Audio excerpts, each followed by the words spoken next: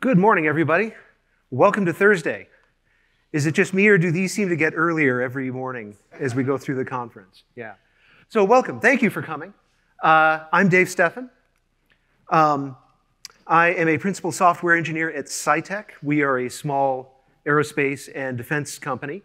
Um, we are very, very much hiring. We've got a, uh, an office up in Boulder. It's about 40 miles northwest of here. So,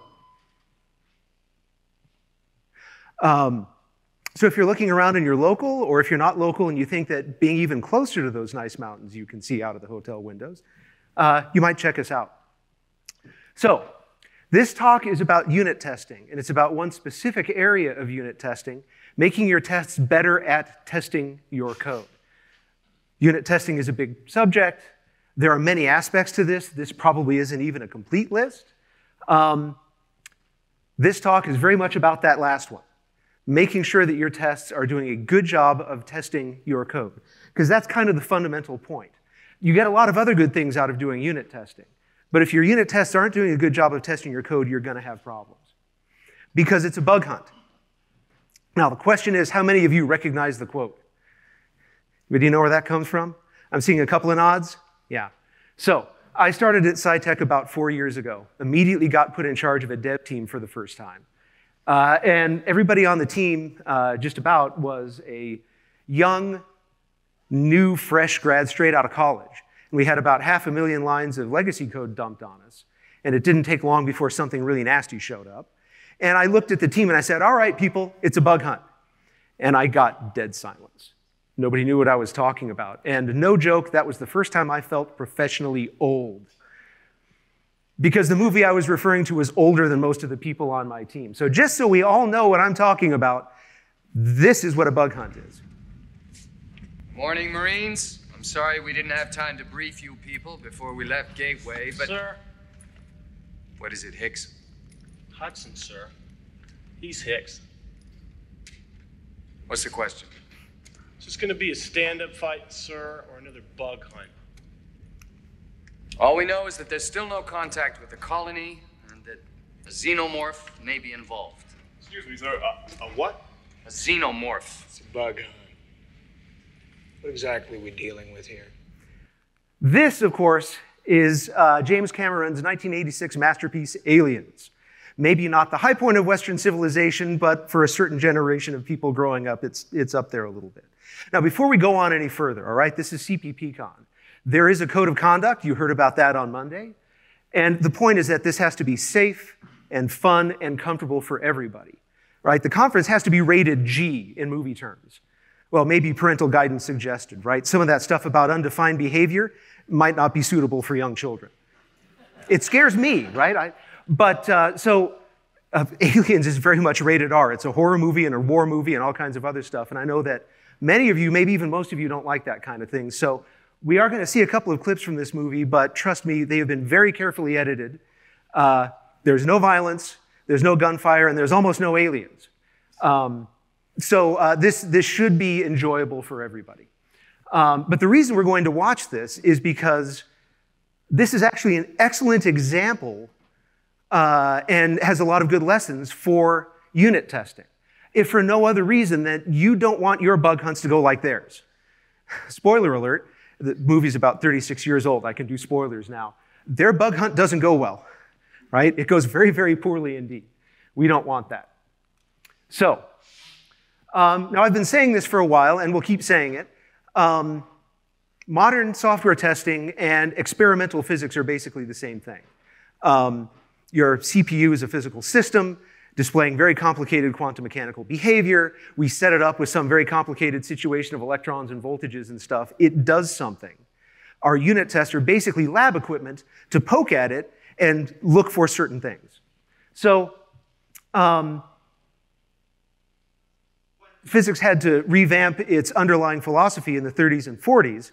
Uh, the point is that we generally can't prove a physical theorem correct.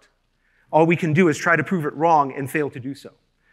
Uh, so when Dijkstra, back in 70, writes that program testing can be used to show the, show the presence of bugs, or can never, sorry, can be used to show the presence of bugs, but never to show their absence, he's saying exactly the same thing. right? We cannot, in general, prove that our code is correct. Maybe we can prove certain functions correct. Maybe in rare cases, we can prove a whole program correct. But in general, we can't do that. So we have to settle for the next best thing, trying hard to prove that it's wrong and failing to do so. And our confidence that it's correct tracks how hard we've tried to break it. So, what we're going to do is take a page from experimental laboratory techniques. Um, when you design an experiment, there's a whole list of things you want it to do. Um, for our purposes, uh, these three points uh, are sufficient. Um, it needs to be repeatable. Being able to repeat test results is the core of all science. We need accuracy and we need precision. These are the things that are the armor plate for your unit tests that help keep the bugs out. Now, we're not going to talk about these too much. Repeatable means that you get the same answer every time you run your tests. Replicable means that your colleagues get the same answer when they run it. Um, we're not going to talk about this because I spent 30 or 40 minutes on this at a not entirely dissimilar talk last year called the Unit Test Strike Back. So go see that one for an extended discussion of flaky unit tests. We all have, I'm not going to ask how many people have flaky unit tests because I know it's everybody, right? The one that only fails every other Thursday during a full moon. Um, so go see that talk for a detailed discussion. This year, we are going to be talking about accuracy and precision. Now, in colloquial English, these are more or less interchangeable, but uh, in science, they really do have distinct meanings, although most of the definitions you see in science textbooks aren't that useful. Accuracy is something about how close to the right answer your equipment's uh, results are, and precision is something about the statistics involved um, that's actually not all that useful. A more intuitive view, uh, and you see this example all the time, is um, if you're trying to measure where the bullseye is. Uh, over on the left, you have high accuracy and low precision. High accuracy in that if you take enough measurements, you will get the right answer, um, but you have lousy grouping. So you probably have to take a lot of measurements to get decent statistics. Um, over on the other side, uh, you have very tight grouping. So you have very precise readings. They're close to each other. In some sense, you get more information out of each one because you don't need to do as many of them to get your statistics right, but you're going to get the wrong answer. So, roughly speaking, accuracy is about your equipment being correct, whereas precision means it's reliable. Now, unit tests are what's called a binary classifier. You don't have measurement error, it's just yes or no, right? So, there is mathematical definition of accuracy in this case. We actually don't care, but I'm a physicist, so I have to put some math up here or they take my card away. Um, but uh, we will be careful to define our terms. A positive result out of a unit test means that it has found the thing that it was built to look for, which is a bug. So a positive result from a unit test is it fails. A negative result means it passes. Now, this is, this is not the emotional result. I'm not saying you're happy to get a positive result right? This is more like your COVID tests, right? The positive result doesn't make you happy, it means you have to stay home. A true positive here means that your test fails because there's a bug, and a true negative means your test passed because there aren't any. A false positive means your tests fail in the absence of a bug, so you have a false alarm, and a false negative means that they pass, but there are bugs that are going to make it through to production. Um, again, we don't care about the math too much, but when you, hear people like Titus Winters say things like this, that tests should only fail because the code under test fails, they're really talking about accuracy. Now, precision for binary classifiers isn't actually mathematically defined, so we'll have to be a little bit more clever about this.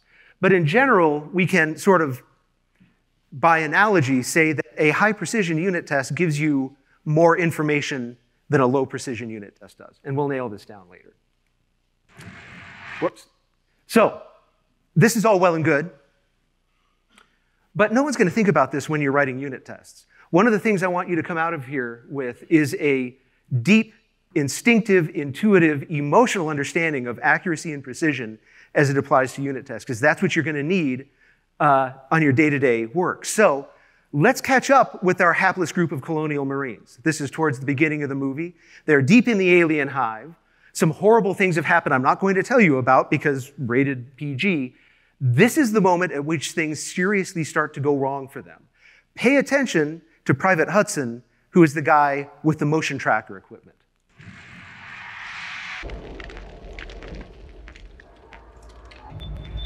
Movement. What's position? Uh, can't lock in. Talk to me, Hudson. Uh, multiple signals. They're closing. Go to infrared, people. Look sharp. What's happening, Apone? Can't see anything in here. Pull your team out, Gorman.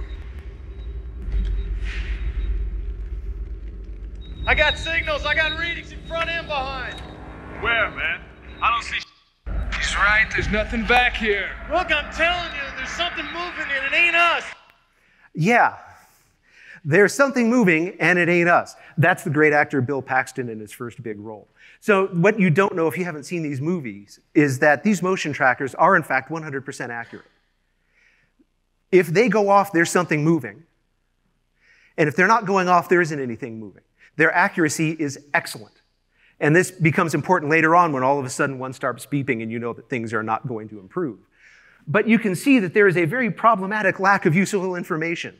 It's saying that there's stuff all around them moving, but they don't know what to do about it. That is a low precision test. Now, you heard Sergeant Apone tell them to go to infrared and they flipped some little thing down. We never see in the movie what that looks like for them. But we actually have infrared cameras in real life.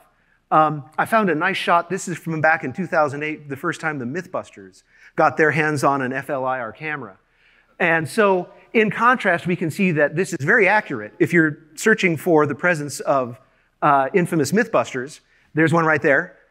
And it's also very precise in the sense that there's a lot of information. You can see that his hat and the infamous mustache are cooler than his skin temperature. And in this frame, if you look closely, you can see that he's breathing out through his nose because you can see the warm air coming out of his nostrils. This is high precision. Now let's go back to our colonial marines. Presumably their infrared cameras are, if anything, more precise than this. Now pay attention to Corporal Dietrich, who's up on point. Look, I'm telling you, there's something moving and it ain't us. Tracker's off scale, man. They're all around us, man. Jesus. Maybe they don't show up on infrared at all. Yeah, maybe they don't show up on infrared at all. They don't. There's one right behind her. Um, if I can get my mouse cursor over here. There we are. Um, if you don't know what these things look like or you haven't seen the movie, this is its head. Its shoulder is maybe over here someplace. This thing here is the end of its tail. It's curled up in the wall, and she looked right at it, right? So here we see the exact opposite situation. Presumably, these are very high precision things. We know that infrared cameras are, but it has a distressingly low accuracy. It can't see the aliens because they're cold blooded. This is biologically implausible, by the way, but that's not the biggest problem. Um, the point being that this is what you want to be thinking about when you're talking about accuracy and precision in your unit tests. Accuracy means that when there's a bug, the alarms sound. When there's no bug, the alarms don't sound. Precision means that when it sounds, you know what to look at, what you're looking at, and exactly how frightened you should be of it. Okay, so accuracy comes in three parts. Um, the first part is uh, talking about completeness, which is just the statement that if you're going to look for bugs, you have to look everywhere. You can't leave any place unexamined where they can continue to hide. Um, now, the problem is that we can only have a finite number of test cases. They take resources to write, they take resources to maintain, they take time to run, and we need our unit tests to run quickly, right? Because they're a fundamental part of our development cycle. So, how do we select our test cases, given that we can't run all possible data through our stuff? So, um, I really like this book. Uh, this book by Glenford J. Myers uh, is the best book on testing I've seen so far. And a lot of what we're going to talk about was either taken from or heavily inspired by this. This book, by the way, you can tell is a, uh, is a little old. This was published in 79. And back then, he was talking about testing whole programs because they were smaller back then. So you have a program that's going to read a bunch of numbers off of a punch, a stack of punch cards and sort them. It's the kind of thing he's talking about. But if you see past that, this book is fantastic. And um, he makes a strong case for, in our terms, maximizing the accuracy of our unit tests by maximizing the chances of finding a bug per test case. We can't test all possible inputs, but we can stack the deck in our favor. Now, there's a variety of techniques for going about this, and what we're going to start with is something called equivalence partitioning. An equivalence class is a set of inputs that all produce the same test result if you feed them into your code in a unit test. Um, they all trigger the same code paths. So if any one member of an equivalence class gives you a certain result, a pass or a fail, any other value from that class will do the same thing. So if you've identified uh, all the equivalence classes for your input and you write one test case for each one, you, in principle, have exercised all the paths through your code. Equivalence partitioning is the act of identifying equivalence classes. Let's do a little bit of that. Um, this is the simplest example I come up with. Uh, these are, are what we're going to do is take the absolute value of an integer, right? There's two code paths. This is easy enough. Now, the input to this is just an integer. So the range of possible input values, which is the domain of the function, goes from int min to int max inclusive. By the way, in real code, int min and int max should be spelled standard numeric limits something, um, but that really doesn't fit on the slot. Now, the return type is an integer. So in principle, all possible return values, that is, all values supported by the return type, are technically called the codomain, which is also from, negative, uh, from int min to int max. Um, but the actual values we get out are going to be the range. That is from zero up to int max. We're only going to get zero or positive integers out. So based on looking at the code, it's fairly obvious that we have two equivalence classes here, at least at first glance. The first, we'll just call it equivalence class one. This goes from zero to int max inclusive. These are all the input values for which that conditional is false. We fall through to the second branch, and we get back what we put in, right? That's an equivalence class. And the second equivalence class uh, is everything else. It's everything you can put in that will make that conditional true. You take the first branch and you get back the negative of what you sent in. Two equivalence classes. Now, if you were paying attention at Lisa Lippincott's talk back on Monday, you might already be a little concerned about that. But if you haven't spotted the problem, the next step or next several steps in the process will identify it for us, which is what they're there for. The idea here, though, is that if we pick one value, any value from each equivalence class, right, two test cases, we have thoroughly exercised our function. Now, we're not done yet. The next thing we have to do is go look at the boundaries, look for boundary conditions. And particularly for an equivalence class that represents a range of values, you always want to go at least look at the edges to see if anything interesting happens, because that's where behavior changes or easy to make mistakes will creep in. Um, you might also look at values near the boundaries, because if something interesting happens at the boundaries, maybe near the boundaries is where things start to get a little iffy. Um, so in our case, if we go look at uh, equivalence class one and we look at the boundaries, and we look at uh, int max, if we feed int max into this function, does anything unusual happen?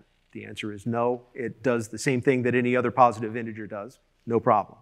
We look at zero. You might think that zero would be an important uh, value to check in an absolute value function, but given the way it's written here, it just does the same thing that any other integer does. It makes that conditional false, and you take the second branch. You look at plus or minus one just to check, nothing interesting there. And then you go check int min and you realize that you have a problem. When you spell int min and int max properly, int min is negative 2,147,483,648, but int max is positive 2,147,483,647, uh, right? This is what we heard about on Monday. Signed integers are not symmetric in range. So if I take the absolute value of int min, I'm going to get undefined behavior because that is a signed integer overflow. So the point being is that we need to adjust our equivalence classes. That second equivalence class should not include int min, and int min should be in its own group somehow. Now, as written, this is a narrow contract. So there's no point in writing a unit test for this because undefined behavior by definition has no correct behavior to look at. There's no point in testing out of contract input. But if we rewrite this to have a wide contract, so we do something like this, uh, so now we're going to actually check to see if someone has passed us int min. And uh, thank you, Standards Committee, for giving us a standard domain error. That's exactly what this is. We'll throw an exception. All right? Now, equivalence class 3, consisting only of int min, is an entirely legitimate and important test case. So now we have equivalence class 1, 0 up to int max, equivalence class 2, int min to 0, not including either endpoint, and equivalence class 3 sitting here over, uh, over on the edge. And you should write a test case for that and make sure it throws the right kind of exception. We're still not done. Although most of the time this will get most of what you need to get. But now it's time to go back and look for just interesting values. Interesting as defined by, well, you. You know the algorithm, you wrote the code, you're the one who knows if something is interesting because something strange happens. Uh, Pete, real quick. Quick question. So you're saying that the int min is something you shouldn't be testing, but you did that by code examination. That is potentially a bug that you can find. Well, okay. Um, yeah, so the question was uh, if we discover that int min is a problem, but we can't unit test it, what do we do? More or less. So you can't write a unit test for int min with the original narrow contract because if you try and do anything with it, you're just going to get undefined behavior. You have to handle that in some other way. What you've got is a narrow contract that people can use wrong. That's a problem, but you can't fix that with your unit tests. Uh, the way to fix it is probably to go add uh, a wider contract to that so it can detect it. Okay. So interesting values are basically well, it's not black magic. You know what's interesting. There's no defined procedure to go get these. This is simply your opinion because you're the expert. Um, so, for example, if you think that zero is an interesting value to test in an absolute value function, make it an equivalence class and add a test for it. Presuming that you can afford to do so, presuming that it's fairly easy to add it, it doesn't take long to run, and you can afford to maintain it. Um, but also consider that interesting in the eye of the beholder, right? We don't test our unit tests. Our unit tests are only proven true by inspection, which means they have to be readable, which means they're going to be read. So consider that future readers who think a given value is interesting might really like to see a test case for that so that they know that you've handled it properly. Even if you know that that value is really part of some equivalence class, you didn't really need it. This might be a very, very handy thing to do uh, for future maintenance and future readers. So, either on the basis that it's a boundary or that it's interesting, we might uh, take zero out of equivalence class one and add it as its own, its own uh, equivalence class. So, on this basis, we would have four test cases um, zero to int max, not including zero, int min to zero, not including either end, int min, make sure it throws an exception, zero, just to be sure. Now, this brings up an interesting point, though. Is what we have just done white box testing? Now, uh, I talked about this again a whole lot last year. So uh, if you want more on white box versus black box, go watch that talk. Roughly, black box testing means we're only going to examine the observable behavior of our code, usually used when we're talking about testing classes. And this means that you're only allowed to test the public interface of a class. White box testing, on the other hand, means that in your unit tests, by some usually very nefarious means, you get into the guts of your class and your unit tests are reaching in and looking at the detailed behavior of the gears and the levers and the switches in there. And generally, this is not recommended because it means that your unit tests are tightly coupled to your implementation. If you refactor your implementation, you have to go fiddle with your unit tests, which can be somewhere between expensive and extremely expensive. So usually we don't like to do white box testing, but arguably we just did because we derived our knowledge of these equivalence classes from a detailed examination of the code. We decided that zero didn't need to be in its own equivalence class just based on the way the code was written. So the question is, should we be doing this? And the answer is yes, that means our equivalence class definitions may be tightly coupled to details of our implementation and might become wrong under a refactor. But if the answer is no, and we shouldn't look at the detailed implementation when we're doing this, then our unit tests are decoupled from our code, which is good, but maybe now you're likely to miss corner cases or that particular weird thing that your code looks at.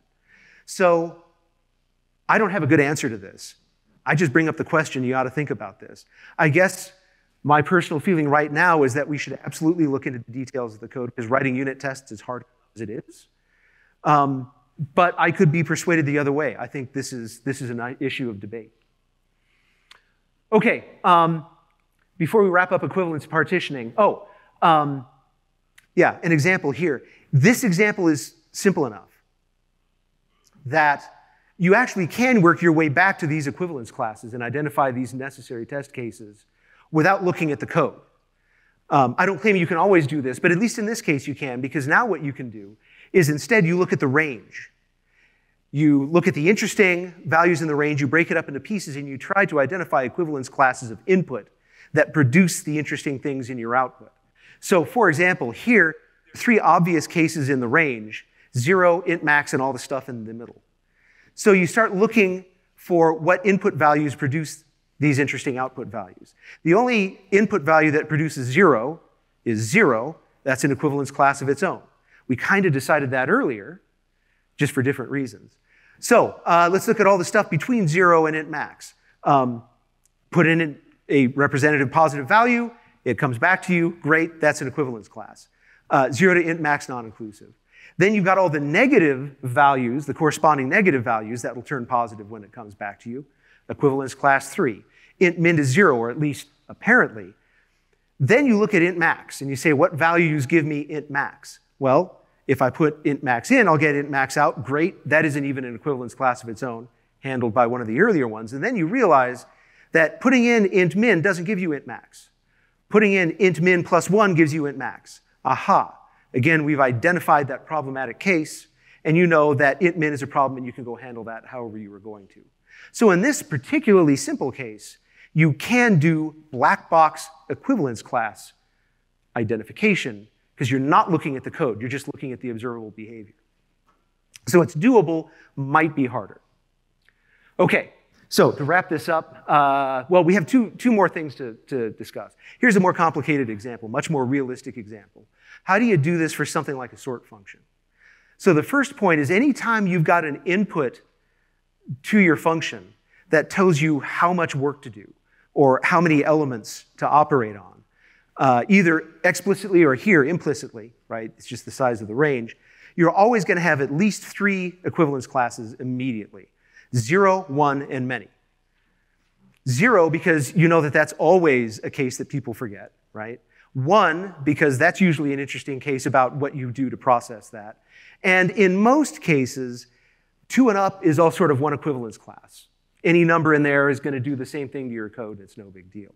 Now, in this case, Again, maybe doing some white box inspection. If you're sorting using an algorithm that like uses a pivot, or you have to select some position in the range to do things with, you might want to try two on the basis that means that your pivot is either on the left or the right edge. Could be an interesting case that you should include. Having identified those, then you can go look at what values to send in. So your obvious case is just make some random integers, send them in, make sure it gets sorted. But then you should try things like what if all my input values are the same value? What if they're already sorted? What if they're sorted backwards? All right, finally, what do you do if you have multiple input parameters? This example was going to be something about aliens and guns and ammunition, but that actually got fairly gruesome. So instead, we're going to about, talk about feeding camels, which need camels, feed, and apparently motorcycles. Why not? I don't know. Sure. The point being is that you first go through each of your input parameters and try to identify the equivalence classes for those, which you usually can do. Um, both the, the happy cases and maybe any error cases. So maybe you've got one hump camels and two hump camels, you've got cheap feed and expensive feed, you've got the fast motorcycles and the broken motorcycles, whatever you've got. Now, in principle, the entire test suite is some uh, combinatorial uh, explosion of those, right? You do a direct products and you have to check every one of those. Actually, you don't. In the ideal case, uh, the particularly simple case, any test that tests a successful equivalence class in one of these is enough. You don't have to do any more. So, for example, if each one of these has two successful equivalence classes, I can just write two test cases and I'm done. Now, we know it's probably not that simple. One humped camels won't eat expensive camel feed or you need the fast motorcycles to go get the two humped camels or something, right? So you need to go look at for how these equivalence classes interact and break them up or recombine them to come up with the equivalence classes you need to test. But it's the same process. And you don't need, again, to test every combination of these. You just need the combinations that will exercise every path through your code. Okay, with equivalence partitioning. Uh, to wrap this up, um, by the way, this draws a lot of ire online. There are a lot of unhappy people. Now, it's the internet, so that was true anyway. Um, and a lot of what you read where people seem to be unhappy about this is really them being unhappy about what other people have written about this. And I have set myself up for that, comments below, um, because I've used the terminology here very, uh, very sloppily, just for reasons of time. Um, so I know that I'm going to get all kinds of feedback for having used the terminology wrong. But also, I think there's a lot of disappointment from way back because this didn't live up to its billing. I think people thought that this was some nice, rote, deterministic algorithm for going and finding all the things you needed to test, and then you'd write all those test cases and you're good. And of course, we know perfectly well it doesn't work like that. My take on this is that it is an excellent tool for identifying possible test cases. It doesn't actually tell you what to test. It actually doesn't answer any of your questions at all. Is this an equivalence class? It won't tell you. You have to decide that for yourself. But it's a great tool for making sure you're asking the right questions. And that's always the first step. Okay, Let's go on to accuracy part two, correctness. This is much simpler. Um, obviously, we want our test cases to identify correct output as being correct, incorrect output as being incorrect, and errors as being handled appropriately. This also tends to bleed over into maintainability issues, which are a whole separate area of, uh, of unit testing discussion.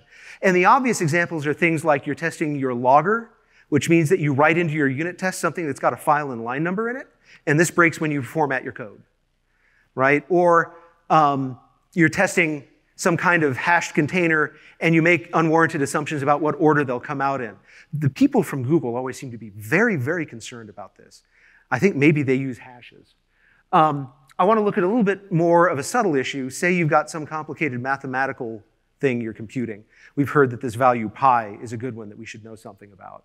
And so you come up with a first cut at computing that. Now, this version is okay. It's returning a float, a float, so as usual, you get about seven decimal places of accuracy. I've highlighted all the incorrect digits up there in yellow.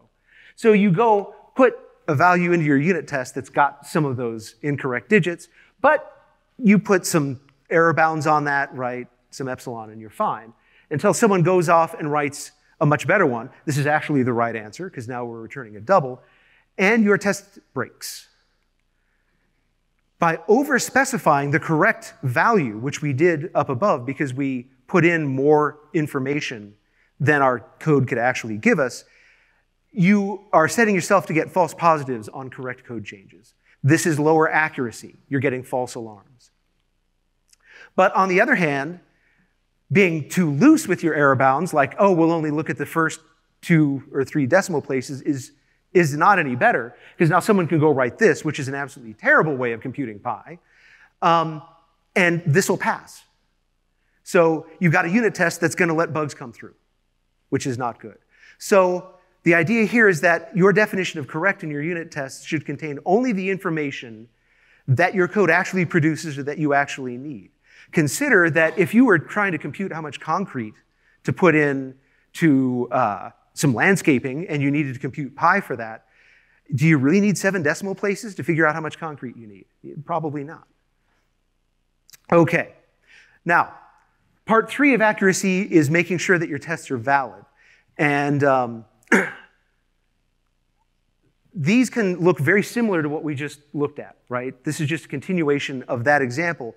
But you have to be careful of just setting yourself up to uh, having used circular logic and writing a non-falsifiable unit test that'll never fail.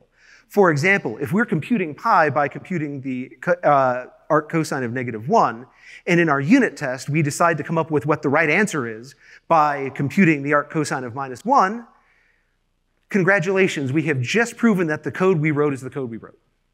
Right? This is non-falsifiable. This will, as written, never fail. It can't. So by the way, don't laugh.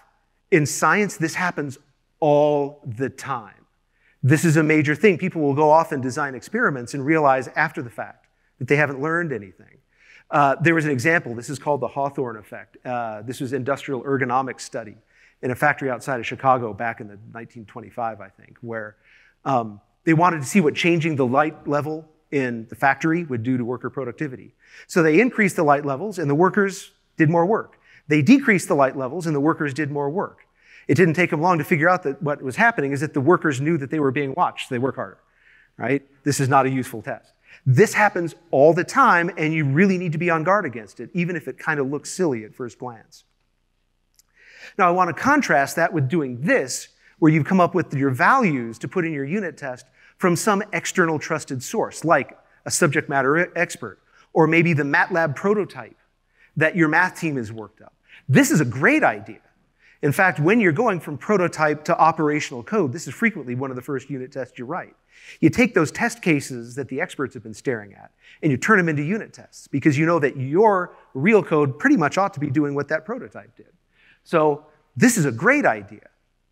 Now, in contrast with this, this is kind of that first case we looked at where I have put in a highly uh, detailed value to check against. I got this by running the code yesterday. Now, people will jump up and down and scream and tell you not to do this because, right, we have not proven that this value is correct or that our code is correct. But we have proven that it hasn't changed since yesterday. That's not a unit test, but it is an acceptance test and can be an absolute lifesaver. If you're wrangling some legacy code and you don't know what the function does, you don't know what the right answer is, but you kind of presume that what it spits out at you is correct because it's been in operations for a couple of years. This is better than nothing. You can at least write this into a unit test and go refactor the code so that you can do better tests and you can have some confidence you haven't broken something. So it's not that this has no value, just be aware that it isn't actually proving anything correct. Okay, so to roll up accuracy, the point of accuracy is that your unit test results match the reality of your code, bug or no bug. You need to test completely, you need to test correctly, and you need to have valid tests. No circular logic, no non falsifiable statements. Let's go on to precision, which is a much simpler topic. Um, you will remember that we sort of had to fudge on this a little bit as far as a good definition. From a practical point of view, I think we can go with this. It's how fast can you go from we know there's problem to we know what and where the problem is and what to start doing, right? The briefer this time, the more precise your test is because you're getting good information. Now, to drive the point home, let's go back to our intrepid colonial marines. This is towards the end of the movie. You'll notice that the number of humans involved is much, much lower than it was before. Okay, and this is where the tension is ratcheting up because the aliens are coming, and this is going to be the big fight. This is the last stand. Seal the door. Hurry! Come on! Yeah. Come on, get back! Work fast! Cover your eyes, Newt. Don't look at the light. Movement. Signal's clean. Range 20 meters. They found a way in. Something we missed. We didn't miss anything. 18. Equivalence partitioning, 17 identify your test Something cases. Under the floor, not in the plans. I don't know. 15 meters. Ripley, Definitely inside the barricades. let's go. 13 meters. That's right outside the door. Hicks, Vasquez, get back! Man, this is a big signal. How you doing, Vasquez? Talk to me. Almost there. That's it. 12 meters. 11. 10. Then they're right on us. 9 meters. Remember, short controlled bursts. 8 meters. 7. 6. Can't be. That's inside the room. It's reading right, man. Look. Well, you're not reading it right. 5 meters, man. 4. What the hell? Yeah. The room they're in has a drop ceiling. and I'm not showing you what happens next. Famous words that can't be, that's inside the room, all right? Um, again, we have test equipment that has a high accuracy, it's right that there are bugs there. And it's actually got precision in one dimension. They're really four meters away. They're just not four meters that way, they're up there. This is a problem, as our heroes are about to find out. Okay? So, when you're trying to make your unit test precise, the first rule is because we need good information, is just to use a good unit test framework. Now, Amir uh, Kirsh did a great talk earlier this week, uh, Back to Basics unit testing, and he went into a lot of detail about how you arrange this. So I'm just going to point out that uh, a passing test produces little or no output. A failing test gives you a wealth of necessary information. You want to see the name of the test case, the name of the test suite, the assertion that failed, the value you expected, the value you got, the file and line number of where it happened. You need all that. And any decent unit test will give you this. Also, make sure that you're using that unit test framework well. Again, Amir had some great examples of this using, for example, in this case, uh, Google tests macros to give you good errors. Not just assert that something is true because all it can tell you is, hey, the value I got was false, but asserting that two things are equal. So you see the values in the output, you can figure out what's going on very quickly. Demand this of your unit test framework, accept nothing else. Don't roll your own. Some of the earliest talks about testing at CPPCon way back in 2014 from Matt Hargett, really, he jumped up and down about this because back then unit test frameworks weren't as well known. Don't roll your own unless you're Phil Nash. He rolled his own, it turned into Catch 2. And so Phil can go roll his own. But don't do that. These are good, go use them. Now, the other part of precision is just about organization. Um, Consider this unit test. This example was actually inspired by Kate Gregory's great talk on emotional code. How many people have watched that? Go watch that talk. I demand that everyone who joins my team go watch that before they do anything else.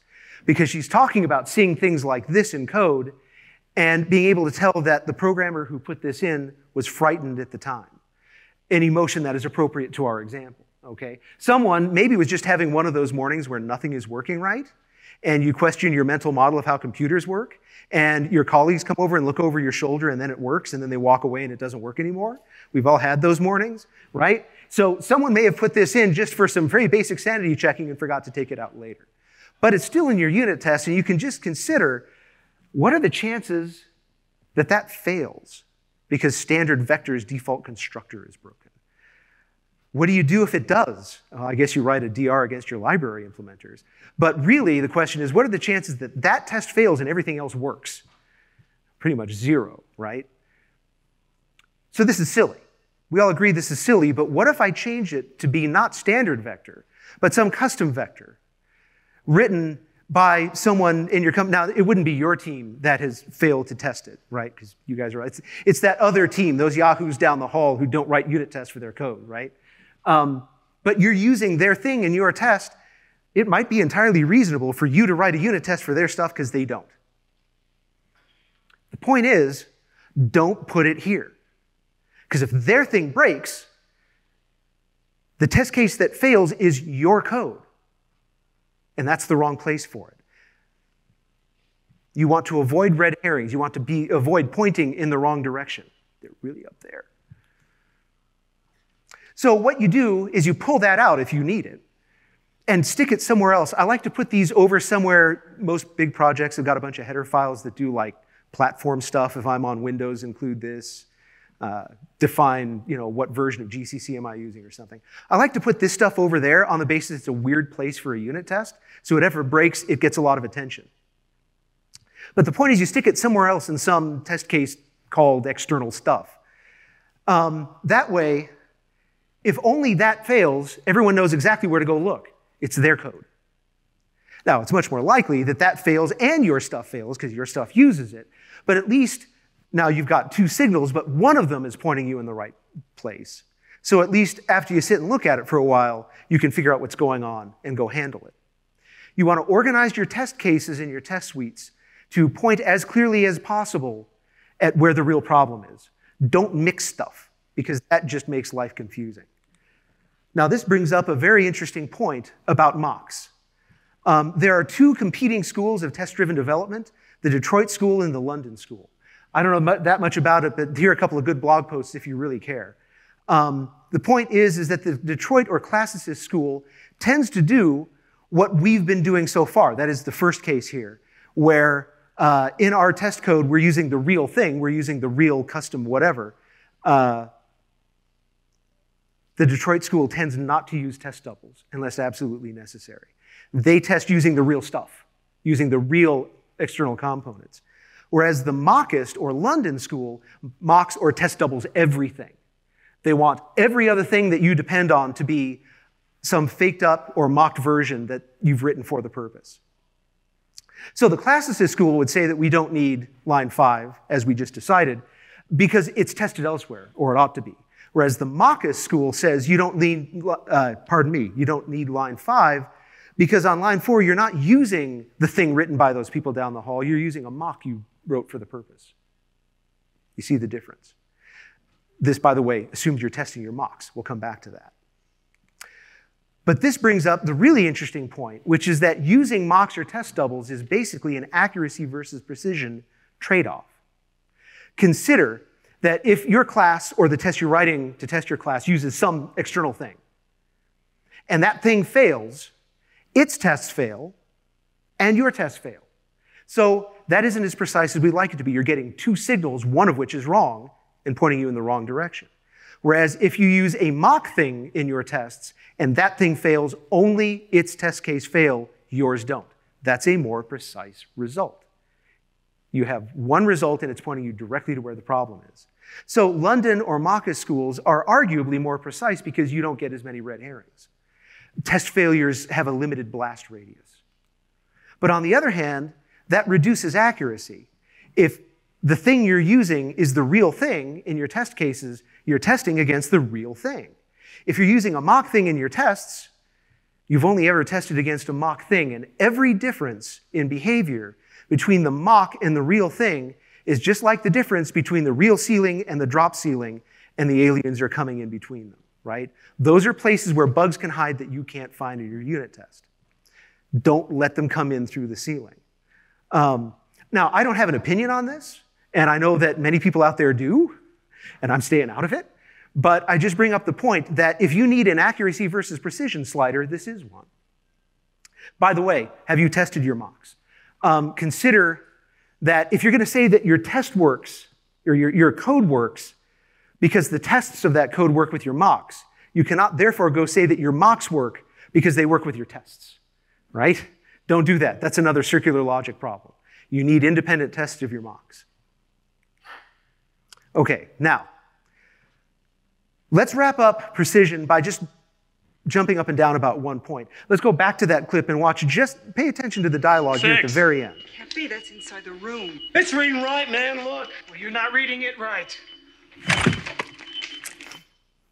So, the problem here is that the people involved are getting contradictory input. Their highly trusted equipment says that there's an alien right over there. They're looking, and their eyes and ears say that there's no alien there. This is confusing. So you see them doing exactly what they should do. Hudson checks his thing. It's reading right. Hicks says, You're not reading it right. Ripley picks her own up to double check, right? They're checking each other's work. And she does actually come up with the right answer, but boy, those three or four seconds could have been better used, okay? The point is that humans are spectacularly bad at handling contradictory input, especially when some of it is coming in through our own sensory mechanisms, okay? Go look up uh, spatial disorientation in conjunction with pilots. It's a very dangerous condition. Um, in this case, maybe you're looking at your code, which is just fine, and you're looking at a test failure, which is saying your code isn't just fine. And these two things cannot both simultaneously exist in reality. It's a very confusing situation, and I'm willing to bet we've all been there. Now, if you're tackling this at 9 or 10 in the morning, you just got to the office, you're finishing up your latte, this is not a problem, right? You got all day, you can get, but we do this all the time. Hey, that's odd, I'll go read the code and figure out what's going on. But keep in mind that humans are much, much worse at handling these conditions when they're tired or angry or frightened. As in our example. If you have to go track down something where your tests are failing but your code is right at two in the morning because you just got called in because something broke the night before a delivery and it's failing in your test case, and so your team is on the hook and you guys are all there and it's two in the morning and management is shouting at you. Or even worse, this is two in the morning after you released it, and your biggest customer is on the phone, and your vice president and the tech lead are going to fly across the country to apologize to them. It is much, much harder to make sense of contradictory input under these circumstances. Do not confuse the tired, frightened, angry humans. Make your tests clear when they find a problem. All right, so to sum up, good tests are accurate and precise. In this context, accuracy means that the results of the test match the reality of the code. Maybe they don't show up on infrared at all is a bad situation. You want to avoid that. Precision means that the test output is useful.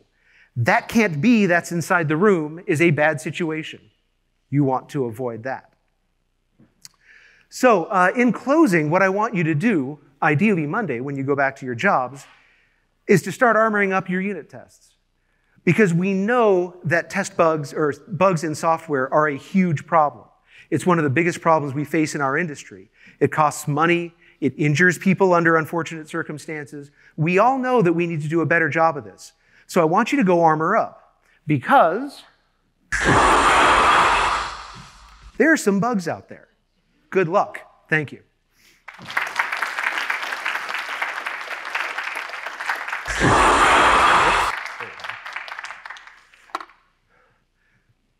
So we've got a little bit more time than I expected, so please come up with questions. Yes, sir. A question about your, I think you asserted that in the uh, multiple input case with the equivalence classes, that you didn't need to test the combinatorial explosion of it. And I can see where you would test, get a lot of like maybe 80% usefulness out of not testing all of them, but that there are corner cases that you could miss by yes. not testing them. Oh, absolutely. So, so you do need to go look very closely at the test cases you decide to keep. Because on the one hand, you're trying to avoid having 100 million test cases because you can't, but on the other hand, you don't want to miss something. So this is where you have to look very closely, and you can either approach it as I'm going to look at how equivalence classes interfere with each other, right? This success, pardon me, this success case for this input is not a success case if that input is three. So you have to go tackle that. Or the other way to look at it is to look at all the code paths and see where you've got code paths where you've got two uh, equivalence classes that are doing something. And then you have to break that out into a separate equivalence class. So now you get equivalence classes across all of your inputs. But the first step is to go identify on an input by input basis, because that's just where you start the bug hunt from. But you're absolutely right. You need to be very careful to make sure that you are getting all of the code covered when you go do that. But the other point is you don't actually have to go do all billion of them. Good, thank you. Pete, Yes, I have one or two questions. So with this equivalent classes, it sounds like, you know, when you take a very limited case, you can sort of scientifically ana- analyze it. Mm-hmm. When you're something that's much more complex, right, or the unit test is bringing some other pieces of your units together, it's going to be a lot more difficult to find this equivalent class. Oh, yes, it is. So why, why even bother? Why not just take, you know, a good old college try at it and let iteration figure out what's missing? Uh-huh. Okay, so thank you. So, uh, first of all, yeah, equivalence class partitioning is much more difficult in real life. I had to do simple things because, you know, I've only got six minutes left. Um, and if you go back to that second clip, when Ripley is saying to yourself, What did me, we miss? How did they get in? Yeah, right? Um, there are other places to get test cases from. I'm not saying that this is the only thing you have to do, okay? So, for example, fuzz testing. Um, or reports from the field where people have found a bug, the first thing you do is add that to your set of unit tests. Someone found a chink in your armor. The fuzz test found it, or a customer found the hole in the armor where a bug had gotten through. Before you fix the bug, go fix up the armor. This is actually another, uh, that I didn't think I'd have time to talk about, aspect of um, being a good lab technician. Calibrate your equipment. So before you go fix the bug, write the unit test that exposes the bug and make damn sure that it fails. Then you fix the bug and you make damn sure that that fixed your unit test. Make sure that the test is actually testing what you just found. So, yes, there are many other good places to get test cases from. Don't ignore them and just do this. This is just a good place to start. Now- Okay, I have a second. I have a second one. So mm-hmm. you talked about, you know, with the emotional coding, a useless test, and you'll get reports coming back from the field. So you'll pad out your testing as you as bugs show up. But what about the cleaning up of unit tests where there are useless tests, useless checks? Um, I would say if you were in a code review and you took that, you know, checking of the constructor out, Yeah. you might get something. Hey, look, um, there's no problem with having useless tests in there. Like the more, the merrier. So, what's your opinion on the cleaning up of useless? So it, Time-consuming testing. So, forgive the military analogy, but if you go back to the tank designers in World War II, they had the same problem. There's no much. Th- there's no such thing as too much armor on a tank, up until the point you that your tank is so heavy it can't climb up a hill, right? Um, so this is an engineering call. First of all, if you can take a unit test out and it doesn't change your test coverage, that is to say, it was basically testing something that was tested elsewhere, then you can take it out just to save a little bit of compile time and a little bit of runtime generally a good idea, particularly if you're in that condition and things aren't well organized. Go th- going through and organizing them so you get higher precision will typically also find a bunch of stuff you didn't really need and you can take it out. What about a test that never fails? Is that a good test? So a lot of people would say that that is not a good test. So Glenford J. Myers, my, my hero, that book that I put up earlier, um, would say that a test that never fails is not earning its keep, right? That's armor you don't need because clearly there's nothing over there. And I say, I, I agree, except that you know for a fact as soon as you take out a unit test you think you don't need, that's what's going to break tomorrow, right? But a test that cannot fail, absolutely you take those out. Those are, just a waste of time. A test that is extremely unlikely to fail for whatever reason might be an engineering trade off. If you take it off, you've actually opened a hole in your armor. But if you know for a fact nothing's going to come in that way, might be worth it. Okay, thanks. Thanks, Pete. Yes, sir. In the topic of the test that never fail, so a classic way, at least how I do it, is I literally put a bug in the code and check that my test is failing. But then when I put the code review, clearly I don't check in the bug I, I inserted, Right. and everything is going to be green. But when I review someone else's code, or when someone else reviews my code, there's no way for them to know that I checked and my test actually fails in case of the bug. Is there a way to kind of show this process so that we prove that our test actually fails? Yeah, so that's a good question. And, and by the way, that's, that's a very good point. Um, in some way or another, when you're writing test cases, you want to show the reviewers that they actually failed when they should be failing. So this is, again, the equivalent of um, calibrating your scale before you make an accurate measurement. Put a known quantity on the scale, which are typically very expensive, to make sure that it reads properly. That's basically what you're doing. Make sure that in the presence of a known signal, you get what you should get from the known signal. Um, the way we handle that, this is, this is more of a development process question. What I like to do in Git is we'll have a branch and I make my people um, rebase the branch and clean up their Git history. So ideally, over on the branch, there would be one check-in that says added bug or added unit test exposed bug. And your CI pipeline for that check-in fails. And then the next check-in says fix the bug, and that succeeds. And that ideally, people in your code reviews would be going and looking through your Git history and looking for this. But I think that, as far as I know, is only really handleable, handleable um, as part of your bigger development process to make sure that people are doing this, and then to figure out how your code review, your code reviewers can go verify that it really happened. But it's an excellent, excellent, pardon me, excellent idea. Any other questions? Oh, I see something online. Yes. Yeah. Question from Daniel Murgett.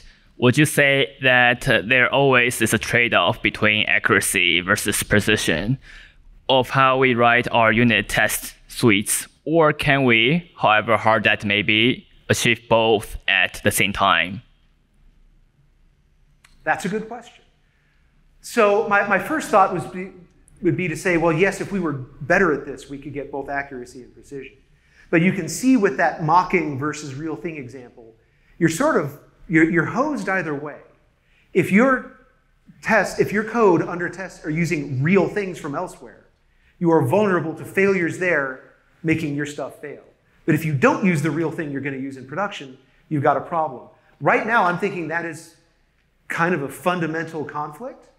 And I don't know what to do about it other than just to tell people be aware that that's the decision you're making. Whichever way is fine, just know that you're making it. Do Uh, or, or, or do both and watch what happens. I guess you could if you've got the resources to do it. Okay, we are, uh, we are out of time. Thank you all for coming. Um, if we have more questions, um, I will be around, and you had my email earlier in the talk, so please email me uh, if we don't get to your questions. Thank you very much.